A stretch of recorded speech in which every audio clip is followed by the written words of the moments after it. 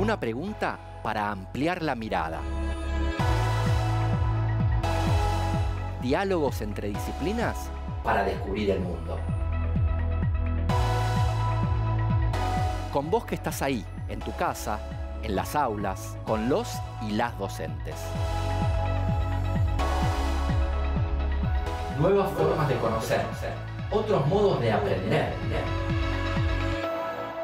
Seguimos, seguimos, seguimos.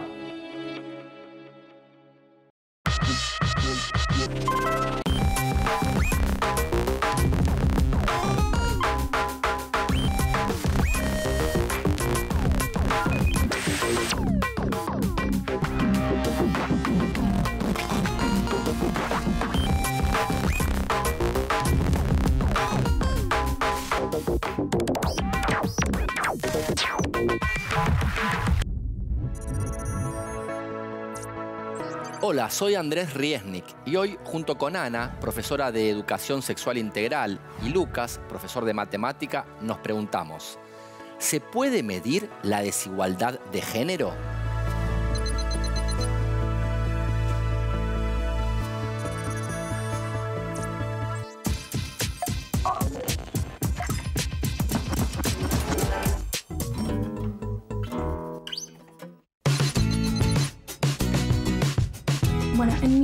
Las tareas las dividimos entre todos. En mi casa eh, nos organizamos para hacer un poco cada uno, nos dividimos las tareas. Y en realidad en mi casa no las dividimos como tal, o sea, cada uno hace un poco de todo.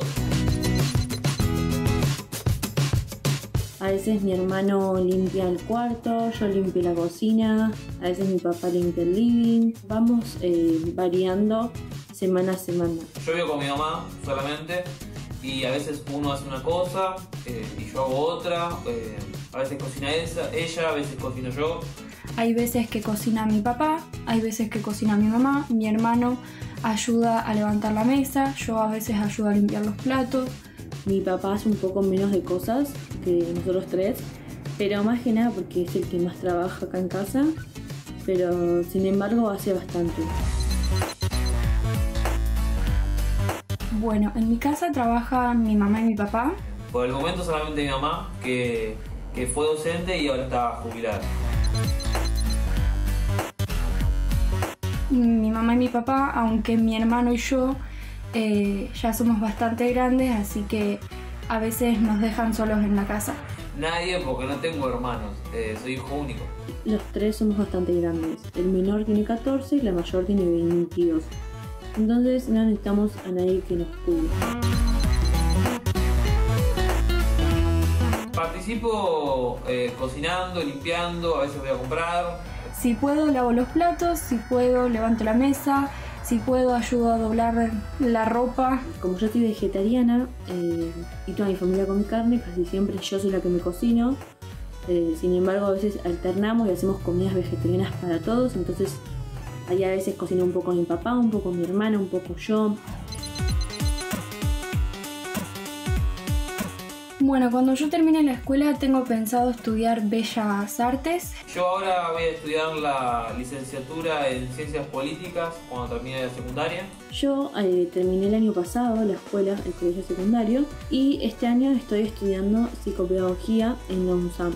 Y el día de mañana me gustaría hacer eh, o algo relacionado al ámbito eh, público, como concejal, un diputado, o eh, al lado artístico, siguiendo siendo actor. En un futuro me gustaría obviamente trabajar con algo relacionado a mi carrera y también me encantaría mucho trabajar algo relacionado a la danza porque es algo que me apasiona y que amo.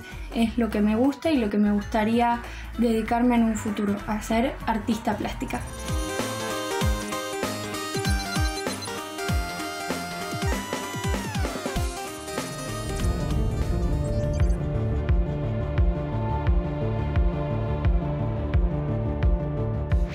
La desigualdad de género?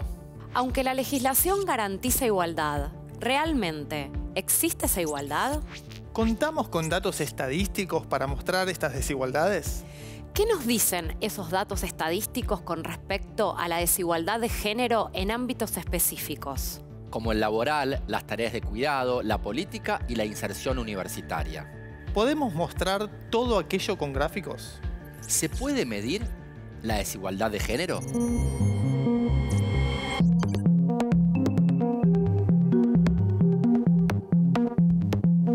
Podemos marcar una diferencia entre el sexo biológico de las personas y el género.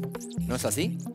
Sí, mientras que el primero se refiere a características biológicas que portan las personas al momento de su nacimiento, el género es una construcción basada en mensajes, estereotipos y expectativas que la sociedad asigna de manera diferenciada a varones y mujeres.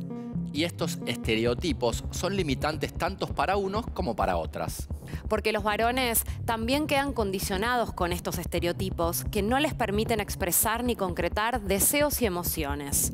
Por ejemplo, a muchos de ellos les es imposible acompañar la crianza de las hijas e hijos en los primeros tiempos de vida, ya que en la mayoría de los casos no cuentan con licencia de paternidad en el ámbito laboral. Sin embargo, a lo largo de la historia, las mujeres fueron las que se vieron más perjudicadas al verse imposibilitadas de acceder a determinados bienes culturales, económicos y políticos. En el último tiempo, y gracias al trabajo constante y significativo de muchos colectivos sociales, esto está en transformación. Vemos como consecuencia distintas leyes que regulan los contratos sociales de modo de evitar desigualdades. Pero en la práctica real y cotidiana hay desigualdades que siguen sosteniéndose. ¿Estas desigualdades pueden medirse? Sí, desde la matemática vamos a analizar distintos modos de organizar la información estadística a partir de diferentes gráficos y tablas. O sea, vamos a contar con datos estadísticos que nos muestren todo esto. Y en cuatro ámbitos, el laboral, el que atañe a las tareas del cuidado, el de la participación política y el de la inserción universitaria. Y todo ello lo vamos a trabajar con una mirada puesta en la educación sexual integral que propone abordar la sexualidad en un sentido amplio y que incluye, entre otras cosas, las inequidades de género que existen en nuestra sociedad. Gran clase tendremos hoy.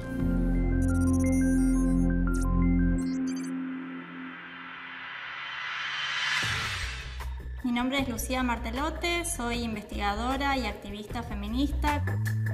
A nivel eh, internacional, las mujeres todavía tenemos varios obstáculos para acceder a posiciones de liderazgo. Según datos de ONU Mujeres del año 2017, las mujeres ocupamos a nivel mundial el 23,3% de las posiciones en los parlamentos y solamente el 18,3% de los ministerios.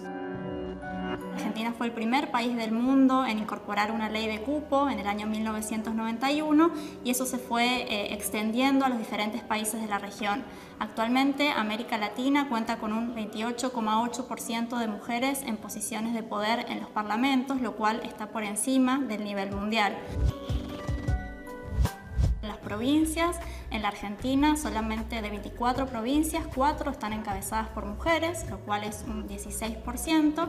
Y sobre todo tenemos problemas las mujeres para acceder a posiciones de liderazgo en los gobiernos locales. Las mujeres intendentas son solamente el 9,4% del total. En el año 2012 hicimos un estudio en ELA que se llama Detrás del Número. Ahí, por ejemplo, lo que vimos es que había tres veces más de legisladoras que eran solteras o divorciadas con respecto de los varones y también, por ejemplo, en el, número de hijos. Mientras en promedio las legisladoras tenían uno o dos hijos, los varones tenían cuatro o cinco hijos. Todo esto demuestra que en el siglo XXI para las mujeres todavía sigue siendo difícil conciliar la vida familiar y la vida laboral, aún en aquellas mujeres con más privilegios como son las legisladoras. ¿A qué llamamos división sexual del trabajo? La división sexual del trabajo remite a la idea de que existen ciertas tareas, roles y funciones que deben ser diferenciadas entre varones y mujeres. O mejor dicho, que deben ser realizadas de manera diferencial entre varones y mujeres. Así, se van construyendo determinadas profesiones, oficios y espacios de trabajo masculinos y femeninos como consecuencia de la socialización de género, de cómo nos enseñaron a ser varón y a ser mujer, cuando debemos ingresar en el mundo laboral, nos encontramos con que hay ciertas cosas que podemos hacer y ciertas cosas que no, según el género que nos asignaron al nacer. o al menos que hay más probabilidades de que nos orientemos a ciertas cosas y no a otras. Y esto sucede tanto al nivel de la oferta de fuerza de trabajo, es decir, de qué trabajos tienden a buscar las personas, como de la demanda, o sea, qué perfiles buscan las empresas o el Estado para determinados trabajos. Retomemos. Entonces la distribución del trabajo entre varones y mujeres se denomina división sexual del trabajo y consiste en la diferenciación que se hace de las actividades que deben realizar las mujeres y las que deben realizar los varones, adjudicando diferentes espacios en función del sexo. Así, se plantea que corresponde a las mujeres desarrollar su actividad en el ámbito doméstico o privado, llamado reproductivo, y a los varones en el ámbito público, denominado como productivo. El ámbito reproductivo o doméstico abarca tareas relacionadas con la organización, actividades de cuidados y aquellas derivadas del cuidado del hogar como lavar, planchar, cocinar, cuidar y criar a las hijas e hijos y cuidar a las personas mayores entre otras. Cuando esta labor se realiza en la propia casa, no se recibe remuneración monetaria. A pesar de que este trabajo constituye un aporte al bienestar de la familia y de la sociedad en su conjunto, es una tarea que carece de valoración social y económica. El trabajo del ámbito productivo o público abarca las tareas relacionadas con la vida económica, política y social, espacio ocupado y adjudicado hasta hoy mayoritariamente para y por los varones. Tiene que ver con las actividades productivas de carácter mercantil y por lo tanto tiene un valor de cambio como albañiles, ingenieros, ministros, jueces, empresarios, entre otros. Lo que se establece así es una clara separación entre el espacio privado y el espacio público. Lo productivo está mayormente masculinizado. Se considera que es el que genera riqueza, es visible socialmente, tiene reconocimiento y proporciona autonomía personal. Por el contrario, el trabajo reproductivo está feminizado, no genera riqueza reconocida, es invisible socialmente, no tiene reconocimiento ni proporciona autonomía personal y se considera secundario. Esta distribución de roles entre mujeres y varones se mantiene en gran medida en la actualidad la creciente incorporación de las mujeres al mercado laboral no ha sido suficiente para que se produzca una incorporación de los varones al trabajo doméstico y de atención y cuidado de las personas dependientes. Esto provoca un grave problema para la calidad de vida de las mujeres, que soportan cada vez más una mayor carga de trabajo si consideramos la suma del trabajo productivo y reproductivo. Esto, a las mujeres, en muchos casos, las lleva a tener que elegir entre el trabajo remunerado posible y la familia o intentar hacer ambas cosas a la vez, para lo cual las mujeres suelen. Participar en empleos a tiempo parcial, que por un lado es el sector que las demanda y a su vez les permite seguir haciéndose cargo de las responsabilidades familiares buscar ayuda en familiares cercanos, generalmente la madre u otra mujer, para que cuiden de sus hijos e hijas prescindir de su propio tiempo libre y espacio para sí mismas por la sobrecarga de trabajo.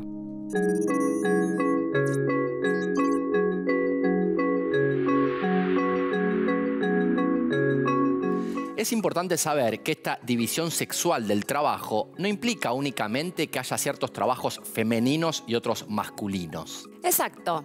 Esta división del trabajo implica también una división y una jerarquización en términos de la valoración social que se hacen de esos trabajos y esas tareas. ¿Qué quiere decir esto? que la sociedad está estructurada de manera desigual entre varones y mujeres, inclinando la balanza en favor de los primeros. Por ello, los trabajos que presentan mejores condiciones y son más valorados socialmente son los masculinos, o sea, pagan mejor y ofrecen mayores seguridades. Por lo general, las mujeres debemos realizar esfuerzos importantísimos y elaborar estrategias muy complejas para acceder a los trabajos asignados históricamente a los varones. Y aún accediendo, se enfrentan con dificultades como que se les pague menos por la misma tarea que los varones, o que tengan menos posibilidades de crecer o de ascender en sus trayectorias laborales. La desigualdad de género está presente en múltiples aspectos de la realidad social, siendo el mercado de trabajo una de las dimensiones donde la posición desventajosa de las mujeres se manifiesta con una intensidad insoslayable. Esta situación plantea un desafío permanente para el Estado y la política pública, pero también para las y los actores sociales que integran este espacio, es decir, trabajadores y empleadores y sus correspondientes organizaciones. El nivel de participación laboral de las mujeres está directamente relacionado con el rol asignado en la división sexual del trabajo. Se observan diferencias muy significativas entre regiones del país. Por ejemplo, en los aglomerados más grandes, la participación de la mujer es superior a la que se registra en los más pequeños. Otro dato importante es que la desocupación afecta más a las mujeres que a los varones, sin importar la edad o el nivel educativo. También la duración del desempleo es más prolongada en las mujeres que en los varones. ¿No es así? Sí, y eso se relaciona con el rol ocupado por unos y otras, tanto dentro como fuera del hogar. Y en el caso de las mujeres que sí están ocupadas, que tienen empleo, Las mujeres ocupadas se concentran en el trabajo en casas particulares, la enseñanza y los servicios sociales y de salud. Eso quiere decir que extienden en el espacio extradoméstico los roles reproductivos y de cuidado tradicionalmente asignados a ellas. Para graficarlo aún más, dos de cada tres mujeres ocupan puestos de baja calificación. La gran mayoría ocupa tareas de servicios generales, comercialización o gestión administrativa. Y vemos una menor presencia en cargos de jefatura y dirección. clarísimo. Por su parte, la tasa de empleo no registrado es mayor en las mujeres que en los varones. Esto se explica por la presencia casi exclusiva de mujeres en trabajos de casas particulares, que muestra tasas de no registración del 75%. También tengo entendido que las mujeres ocupan empleos con menos horas y supongo que eso repercute en sus salarios. Exacto, Andrés. Más de la mitad de las mujeres se ocupan puestos a tiempo parcial, lo que explica la brecha en los ingresos laborales. En efecto, el ingreso mensual de las mujeres es del 75% respecto del de los varones. ¿Tenemos datos para mostrar esto? Claro, y algunos de ellos son muy elocuentes. Es cierto que en la última década las tasas de participación de las mujeres en el mercado de trabajo de la Argentina crecieron significativamente.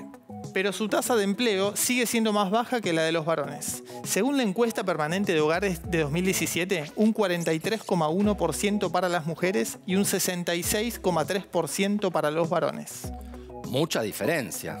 Sí, por otra parte, podemos observar que son numerosos los hogares donde las mujeres son el principal sustento económico, ya sea por tratarse de hogares monoparentales o por ser la mujer el principal ingreso frente a un varón desocupado o subocupado, o en hogares en el que el ingreso de ambos es imprescindible para el sostén. Es claro que las implicancias de esta situación exceden el ámbito de lo laboral y repercuten al interior de los hogares. Y al restar independencia a las mujeres, se contribuye a reproducir relaciones de género que las subordinan. La posibilidad que tienen los varones de acceder a empleos mejor pagos o de mayor reconocimiento está vinculado con la manera de organizar las tareas dentro del hogar. Para que alguien pueda salir a trabajar fuera del hogar en esas condiciones, hay alguien que se ocupa de las tareas de cuidado. ¿Quién es? Por lo general las mujeres. Estas tareas incluyen la limpieza y el cuidado de la ropa, el mantenimiento del hogar, la preparación de las comidas y las tareas de crianza. El trabajo doméstico y de cuidados no remunerado es el trabajo que permite que las personas se alimenten, vean sus necesidades de cuidado satisfechas, cuenten con un espacio de condiciones de habitabilidad, reproduzcan en general sus actividades cotidianas y puedan participar en el mercado laboral, estudiar o disfrutar del ocio, entre otras. La distribución de este trabajo es estructuralmente desigual. 9 de cada 10 mujeres realizan estas tareas, que significan en promedio 6,4 horas diarias. Diana Barimboim, profesora e investigadora del Instituto de Ciencias Sociales de Fundación UADE, afirma en un estudio. Si bien hay participación del género masculino tanto en la realización concreta de las tareas domésticas como en la crianza y cuidado de los hijos, la mujer sigue siendo la que más horas invierte en estas tareas. El mandato social que identificaba a la mujer como ama de casa y madre entra en conflicto con el mandato social actual de mujer profesional e independiente. Se observa que la mujer continúa como dueña del hogar en términos de responsabilidades. De modo similar, Carlos Andújar, docente de la Universidad de Lomas de Zamora, explica que son mayoritariamente las mujeres quienes proveen cuidados, sea de forma no remunerada en los hogares o remunerada en el ámbito laboral. Así, el mandato cultural de que las mujeres se ocupan de estas labores y la miopía respecto de la responsabilidad de la sociedad en esta materia crean barreras para que las mujeres puedan participar en igualdad de condiciones en el mercado laboral. Esta distribución asimétrica explica que su participación en el mercado laboral sea más baja que la de los varones. Veamos cómo podemos mostrar esta información. Personas que trabajan en tareas domésticas del hogar según sexo. Este gráfico presenta una manera visual de representar información porcentual. Veamos entonces cómo lo podemos utilizar. Observemos detenidamente la grilla. En ella se pueden observar 10 cuadrados a lo ancho y 10 a lo alto. Esto quiere decir que hay un total de 10 por 10 cuadrados, es decir, 100.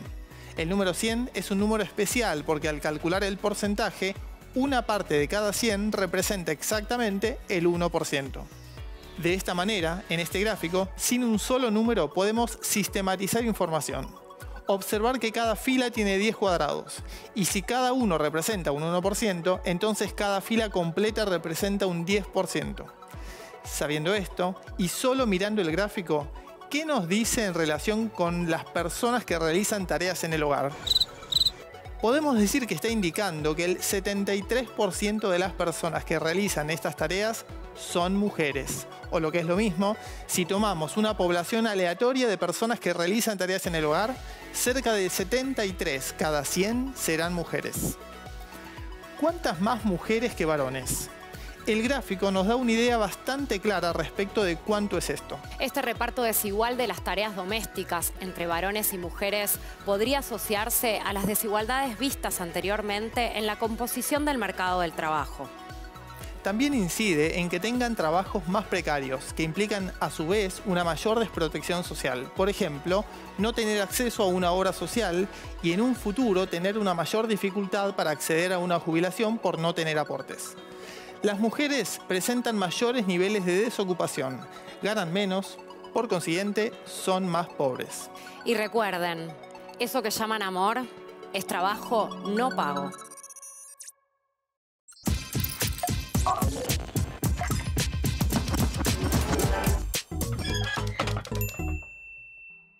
Hoy vamos a hacer una tabla familiar. No, no, no, nada de eso. No es una tabla para comer, sino para medir actividades dentro de tu hogar. Para eso voy a necesitar que hagas algunas preguntas a quienes conforman tu grupo familiar y a otra gente conocida. Podés usar hojas, lápices y si te gusta dibujar o bien una compu para que uses una planilla de cálculo o lo que te sea más cómodo. ¿Ya tenés todo? Bien, lo primero que vas a hacer es confeccionar esta tabla. Lo segundo, vas a rotular cada columna con estos datos que te voy a pasar. Si es varón o mujer. Si cocina más de tres veces por semana. Si limpian el hogar más de tres veces por semana. Si trabajan fuera del hogar más de tres veces por semana. Si limpian el baño. La tabla te va a quedar así. Ahora, en tercer lugar, quiero que busques al menos cinco mujeres y cinco varones cercanos para hacerles una pequeña encuesta hacerles a cada una o uno las preguntas que están en el encabezado de las columnas de la tabla del punto 1. Completar los casilleros de la tabla con sí o no. En cuarto lugar, quiero que calcules el porcentaje de mujeres y de varones encuestados que realizan cada una de las tareas indicadas en las columnas. Para cada una de las tareas consignadas, realiza un gráfico de columnas, o sea, cuatro gráficos.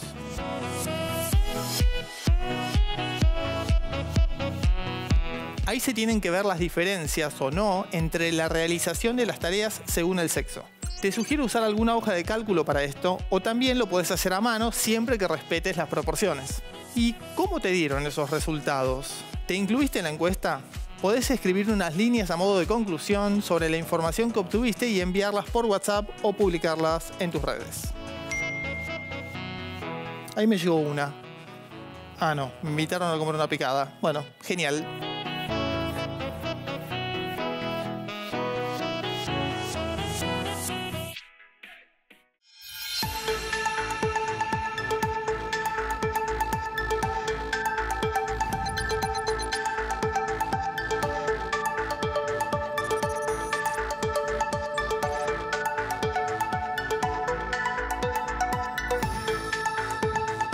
Durante mucho tiempo, la participación política en nuestro país fue cosa de varones. Los estereotipos de género a principios de 1900, por ejemplo, sostenían que las mujeres debían ocuparse de las tareas domésticas, ocuparse de las cuestiones puertas adentro del hogar.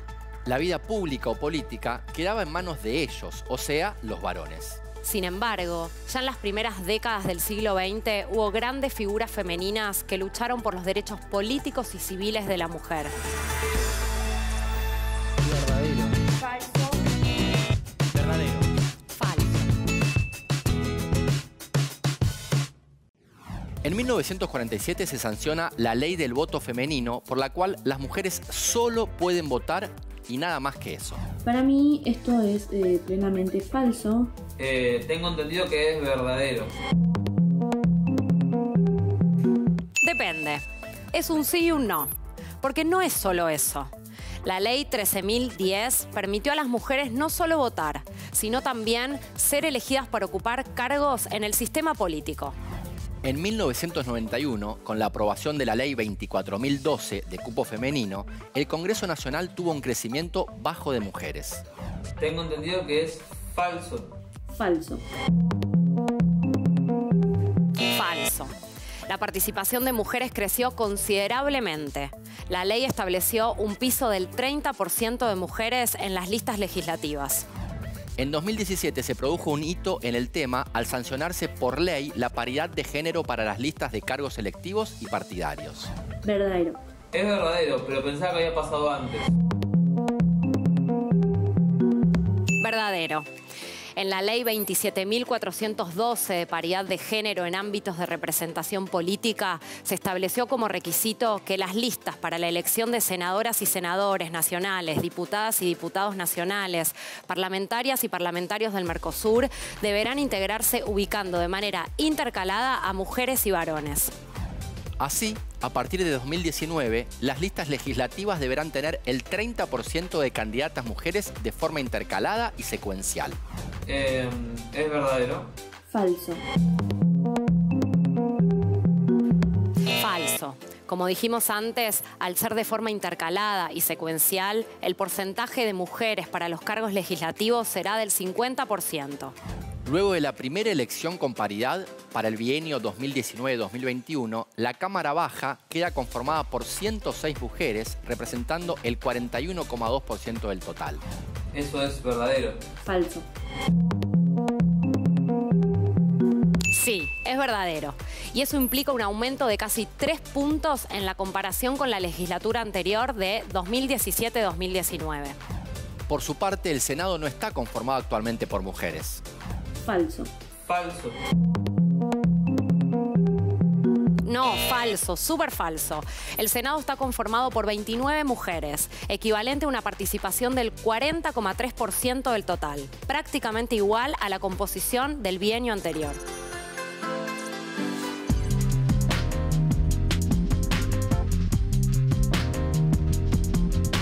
Durante muchas, pero muchas décadas, el acceso de las mujeres a los estudios universitarios estuvo vedado. Así es, y eso puede verse desde muchas aristas, tanto explícitas como implícitas. ¿Cómo sería eso? Bueno, una explícita es por qué se les prohibía, valga la redundancia, explícitamente la entrada a los espacios universitarios. ¿E implícita?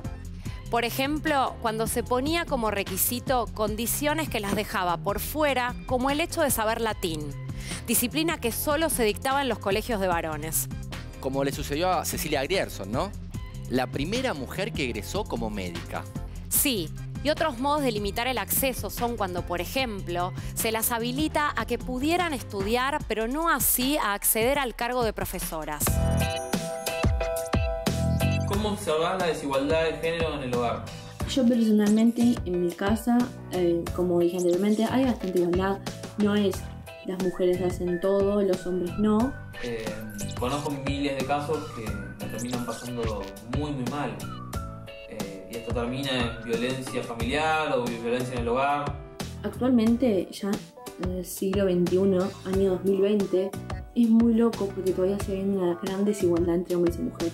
Por ejemplo, en gimnasia, donde, bueno, eh, los hombres siempre podemos llevar un short y remera y las mujeres no pueden ni ponerse un short, tiene que ser siempre calza larga y mucho menos ponerse un top deportivo, tiene que estar siempre de remera. Es como que se las controla mucho más a las mujeres que a los hombres en ese sentido. La mujer siempre, casi siempre, en diferentes trabajos tiene que luchar para tener un mismo salario que el hombre, tener las mismas, los mismos beneficios, los mismos derechos, tener que a veces tener que lucharla más para poder conseguir ese trabajo, solamente por el simple hecho de ser mujer. Y sé que mucho, bueno, muchos profesores también hacen desigualdad. Eh, si un alumno es hombre o mujer, eh, a la hora de poner la nota o a la hora de evaluarlo.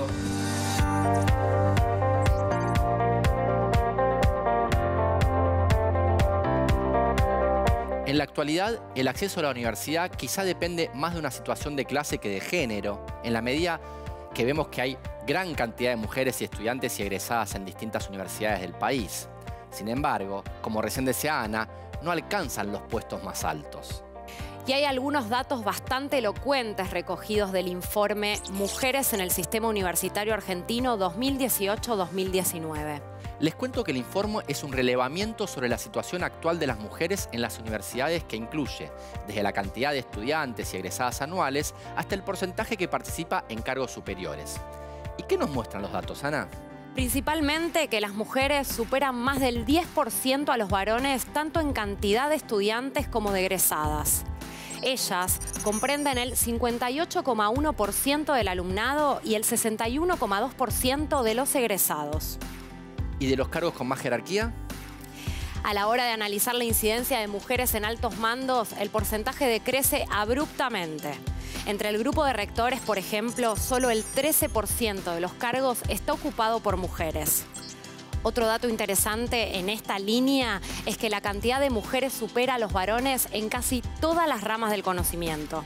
¡Wow! ¿Se pueden ver en detalle? Claro, las disparidades más grandes están en las ramas de la salud, en las que las estudiantes femeninas representan el 73% del total y en las disciplinas humanísticas donde el 70,3% del alumnado son mujeres.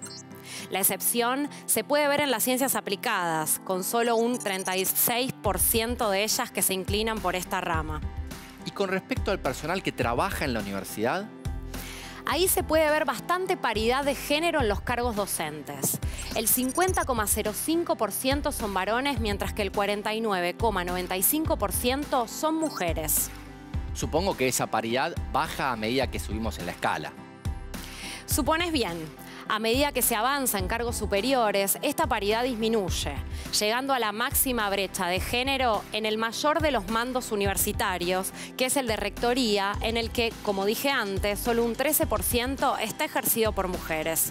Reducir esta brecha para igualar oportunidades es un desafío que nos queda por delante.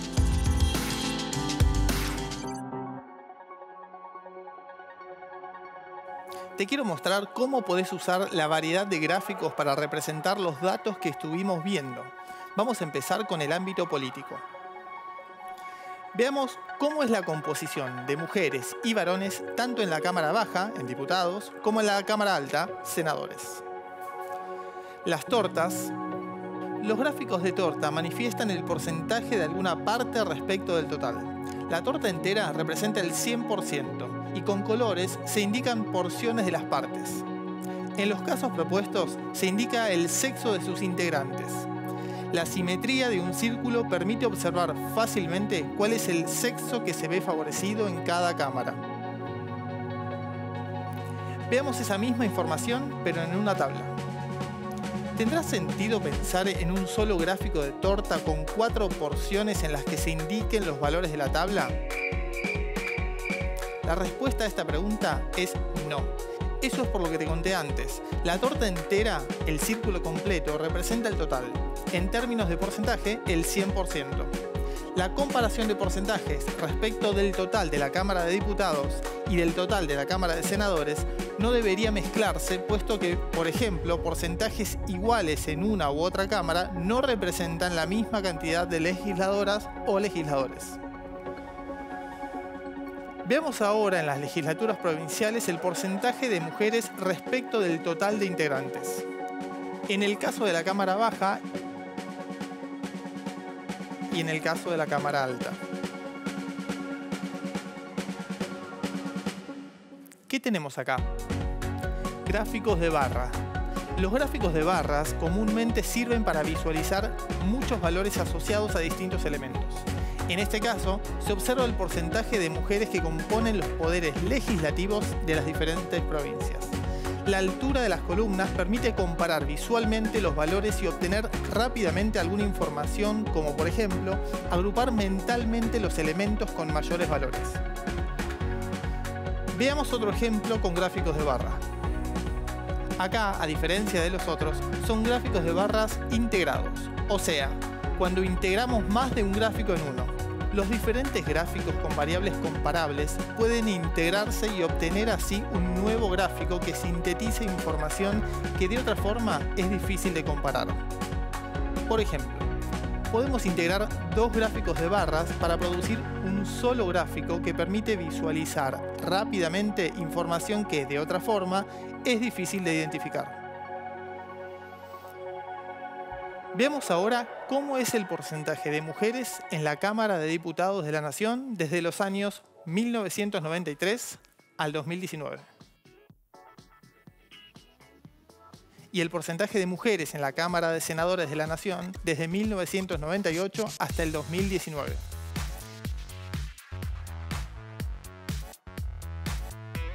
Estos son gráficos de líneas. Los gráficos de líneas tienen información organizada de manera muy similar a los gráficos de barras. La diferencia es el efecto visual que produce la línea que da una noción temporal. Los gráficos de línea suelen utilizarse para casos en donde una de las variables consideradas es el tiempo. La lectura suele realizarse de igual manera que la lectura de textos en español, de izquierda a derecha. Veamos datos similares, pero en el ámbito universitario. Por ejemplo, si queremos medir la distribución de cargos según género en universidades nacionales del año 2019, vamos a utilizar estos gráficos de torta. Se divide en docentes universitarios, docentes preuniversitarios, no docentes y autoridades superiores. Y en cada uno se ve la proporción de varones y mujeres. Como dijimos antes, cada torta representa el 100%. Veamos ahora cómo sería la distribución de cargos en la universidad, pero esta vez por categoría y por género. Esto es del año 2019. Lo que vemos es qué porcentaje de mujeres y de varones ocupó cargos de rectorías, de vicerrectorías, de secretario o secretaria universitaria, de decano o decana, de vicedecano o vicedecana. Sí, como vemos, la brecha entre varones y mujeres es bastante alta. Ahora veamos la participación de las mujeres en carreras de grado y posgrado del año 2018. En este caso, vemos un gráfico de barras integrado. Está dividido también por regiones. ¿Y la distribución de estudiantes nuevas inscriptas y egresadas mujeres según disciplinas? Este gráfico de barra considera el año 2018 y como ven, en cada disciplina se observa la distribución de estudiantes nuevas, inscriptas y egresadas. Bien, no pueden negar que la explicación quedó bien gráfica, ¿o no?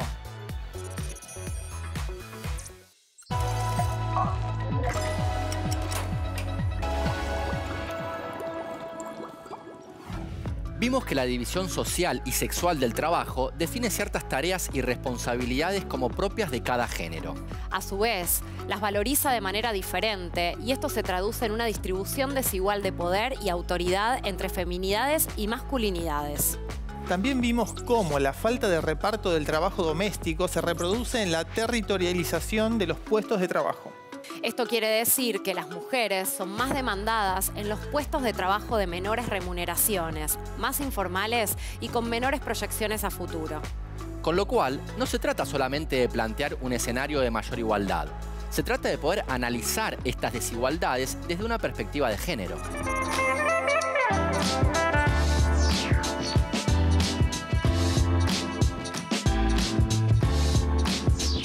Mi nombre es Candelaria Boto, soy coordinadora general de Economía Feminista, que es una asociación civil que nació en 2015 justamente para eh, buscar visibilizar la desigualdad de género que vivimos en nuestro país y en la región.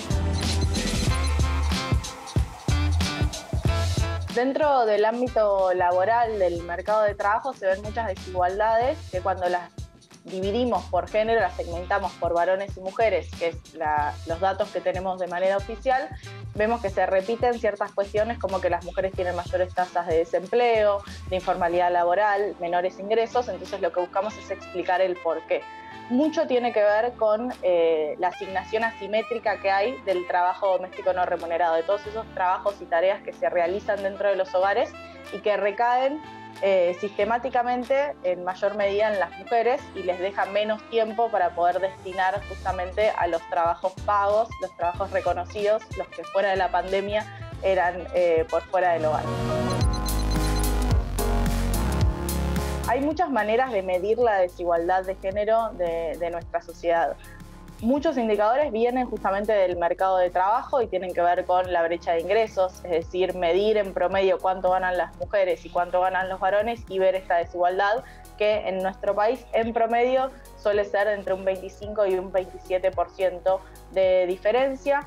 Eh, otro punto importante tiene que ver con la distribución del ingreso. Si organizamos a toda la población según cuánto ingreso tiene por mes, vemos que los grupos poblacionales de menores ingresos están eh, mayoritariamente conformados por mujeres y los grupos poblacionales que concentran más ingresos están mayoritariamente poblados por varones. Entonces también es una buena forma de ver esa desigualdad que desde la economía feminista lo llamamos feminización de la pobreza o masculinización de la riqueza.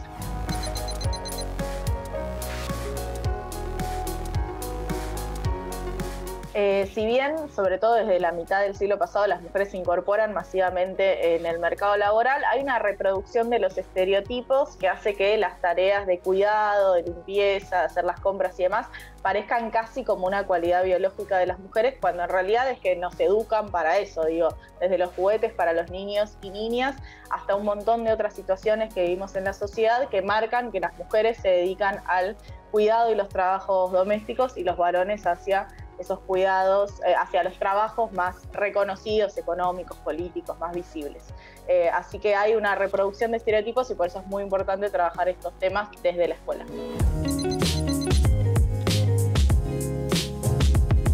La feminización de la pobreza es este fenómeno que encontramos cuando eh, ordenamos a toda la población según el ingreso que, dispone mensualmente y vemos que en los principios de esa fila, o sea, quienes menos ingresos tienen son mayoritariamente mujeres y a medida que aumenta la cantidad de ingresos va aumentando la cantidad de varones.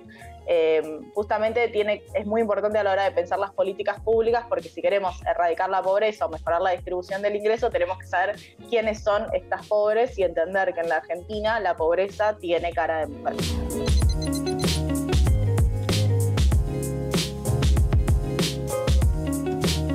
La principal fuente de desigualdad tiene que ver justamente con la distribución del trabajo doméstico no remunerado y de cuidados, o sea, con todas estas horas necesarias para mantener el hogar en estas tareas reproductivas y de crianza. Entonces, hasta que socialmente no nos podamos hacer cargo de ese trabajo y hasta que no haya una distribución más simétrica entre los integrantes de la familia de ese trabajo, las mujeres no van a poder tener la autonomía de tiempo necesaria para poder tener eh, la misma libertad que tienen, por ejemplo, los varones en sociedad.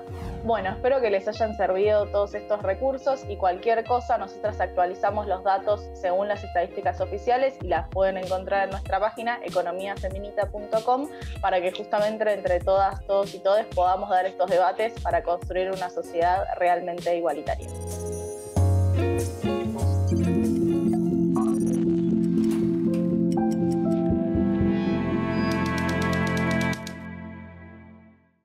A veces hay conceptos que surgen en un momento histórico, pero que a lo largo de los tiempos nos permiten su propia resignificación para pensarlos y aplicarlos a otras situaciones posibles. Algo de eso se juega en la famosa crítica que le hace Marx a la democracia política, a la idea de emancipación política. ¿Qué es lo que propone Marx? Lo que hace Marx es retomar la vieja idea eh, religiosa, teológica, de que todos los seres humanos frente a Dios somos todos iguales. lo que dice Marx es que a los ojos de Dios seremos todos iguales, pero claramente aquí en la tierra la desigualdad es manifiesta. Por lo tanto, se pregunta, ¿de qué sirve eh, esa supuesta igualdad en el cielo cuando aquí, en este mundo, la cosa pasa para otro lado? Marx básicamente retoma esa idea y la aplica a la democracia política y se pregunta más o menos lo mismo. Se pregunta Marx, ¿de qué sirve pensarnos a nosotros iguales ante la ley cuando en los hechos, en la realidad económico-social, la desigualdad continúa de manera exasperada? Quiere decir con esto que en términos jurídicos todos tenemos la misma igualdad política, pero ¿alcanza la igualdad política si la desigualdad social no se aminora? Tomemos estos conceptos y enfoquémoslo ahora a la cuestión de género. Mucho estamos viendo y se está investigando acerca de las asimetrías existentes en términos de género sobre todo la simetría que se produce entre el varón y la mujer. En términos jurídicos, varones y mujeres tenemos las mismas, los mismos derechos, las mismas prerrogativas, somos iguales ante la ley. Y sin embargo, en el campo económico-social concreto, esa igualdad no se produce. Porque aunque seamos iguales ante la ley, la simetría se da de hecho y las oportunidades o posibilidades no son las mismas para los varones que para las mujeres. Por eso no es casual que el 8 de marzo, el famoso Día de la Mujer, se haya convertido para las mujeres en un día de paro. Porque el paro coloca la problemática de la desigualdad en el lugar en el que tiene que estar en la desigualdad económica, en la desigualdad en términos de oportunidades en la sociedad civil. El paro que realizan las mujeres lo que está demostrando es que lo que se le expropia a la, mujer, lo que se le enajena, es gran parte de su trabajo, el llamado trabajo doméstico, una de las formas más importantes de desigualdad es eh, una sociedad que se piensa a sí misma en la cual las mujeres tienen que realizar trabajos no remunerados. ¿Por qué la crianza de los hijos es considerado un trabajo no remunerado? Porque se ha normalizado que la mujer tiene por naturaleza que hacerse cargo de esa tarea. Las formas de naturalización son las mejores maneras en las cuales todo poder encuentra como forma la posibilidad de instalar su propio interés como si fuese el interés de todos. Por eso es por ahí, deconstruyendo lo que se cree como natural, que va a ser posible poder pelearnos contra las desigualdades.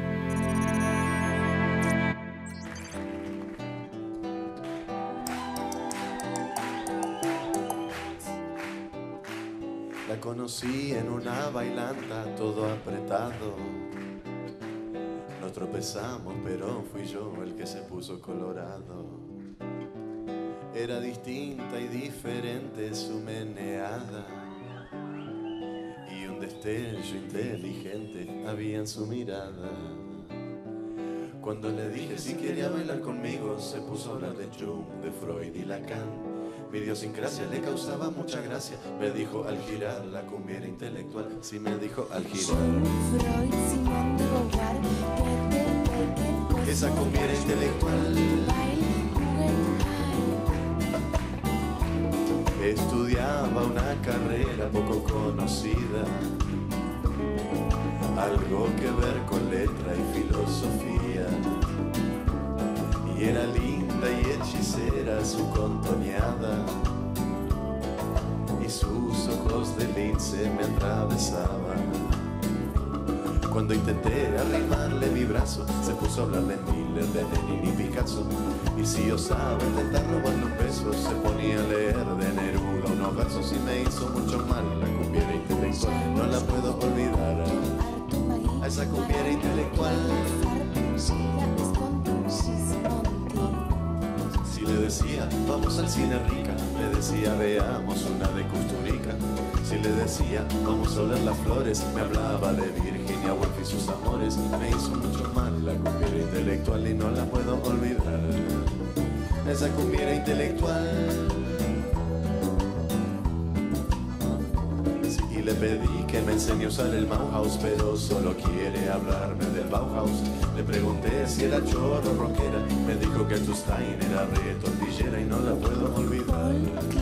Ante Garmas, Kandinsky, Diego, Frida, Tolstoy, Bolshoi, Terry Gilliam, Shakespeare, William. me hace daño y yo no quiero que piense tanto. Cumbiera intelectual, yo voy a rezarle a tu santo para que te pueda soltar un poquitín.